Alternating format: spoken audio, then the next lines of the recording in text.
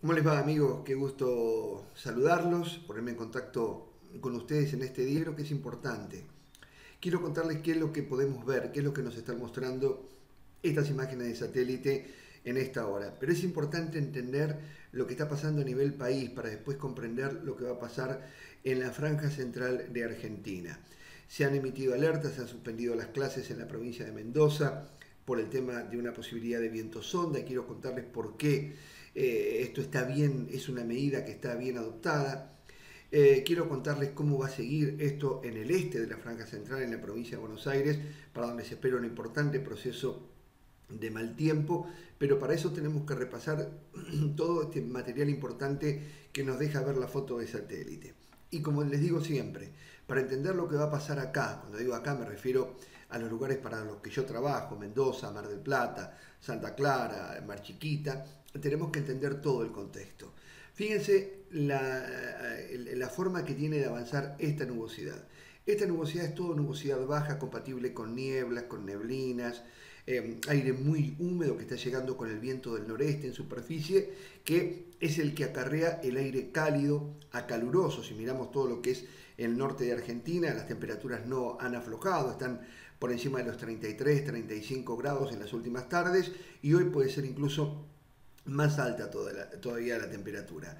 Pero el hecho de que aumente la temperatura también implica que aumente la humedad. Lo que le da al aire la capacidad para albergar humedad es su temperatura. Mayor temperatura entra más vapor de agua.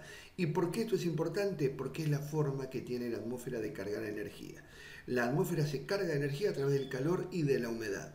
No tendríamos procesos severos de mal tiempo eh, en forma de precipitaciones y tormentas sin que antes ingrese aire lo, suficientemente húmedo para entregar la energía en forma de calor latente para que se produzcan las tormentas y las precipitaciones. Bueno, todo eso está ingresando, pero ¿a dónde? Desde Córdoba para el este, para la provincia de Buenos Aires, para el sur del litoral. Ahí se van a desarrollar procesos severos de mal tiempo. Pero lo que quería señalarles, fíjense cómo avanza desde arriba hacia abajo, desde el norte hacia el sur, toda esa nubosidad. Eso tiene que ver con la circulación del viento en las capas bajas. Ahora, miren lo que pasa en el, lo que pasa en el Pacífico. En el Pacífico el desplazamiento es al revés, es desde el sur hacia el norte. Y todo esto que parece acá, con formación granulada, tiene que ver con la interacción entre la atmósfera y el Océano Pacífico. Es, se llama técnicamente celulares abiertos, son nubes que se forman dentro del aire polar. Es decir, que mientras que yo en un lado tengo aire tropical, caluroso y húmedo, por el otro lado tengo la entrada inminente de esta masa de aire de origen polar. Y lo que separa a este aire polar de este aire tropical es esto que estamos viendo acá, que es el famoso frente frío. Bueno, Mendoza está acá, por ahora delante del frente frío. En la medida que este sistema frontal vaya avanzando, lo que va a estar haciendo es disparando el viento sonda en Malargüe, en San Rafael, en General Alvear, en el Valle de Uco y también en distintos departamentos de Mendoza. Pero también sabemos que es un fenómeno muy errático que no ingresa simultáneamente a todos lados en el mismo momento, sino que lo va haciendo por tramos, pero una de las características que tiene este, este episodio de Sonda en particular es que va a ser abarcativo desde lo geográfico, va a abarcar varios departamentos simultáneamente y puede alcanzar velocidades significativas, no solamente Mendoza, sino también San Juan. Ahora, simultáneamente eh, a esto que está pasando en Mendoza, todavía en la previa, todavía no se ha manifestado el viento con esa intensidad, estaba nevando a esta hora en el oeste de Río Negro, en el oeste de Neuquén, con temperaturas de entre 0 y 2 grados sobre cero. Em, ¿Por qué esto es importante? Porque hay un axioma que manejamos en los especialistas en meteorología que decimos a mayor contraste de temperatura a un lado y al otro del frente, mayor, más importantes son los procesos de mal tiempo emergentes. ¿Cómo se van a manifestar acá en Mendoza esos procesos de mal tiempo? En cordillera con nevadas, en la alta montaña sobre todo, en precordillera y simultáneamente en varios departamentos con un viento fuerte típico del sonda, caliente, seco, muy caluroso, muy seco y muy despejado. Esto es lo que se viene para el periodo comprendido entre el mediodía y el anochecer del día de hoy.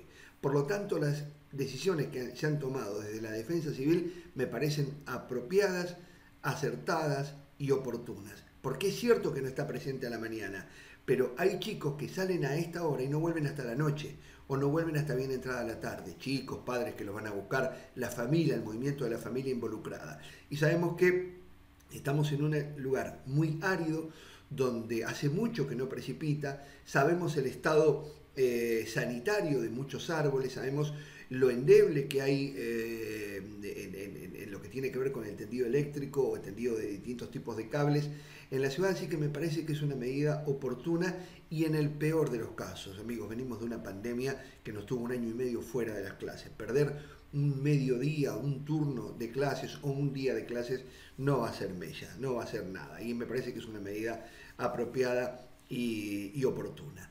Entonces, para Mendoza, ¿qué es lo que esperamos para el día de hoy?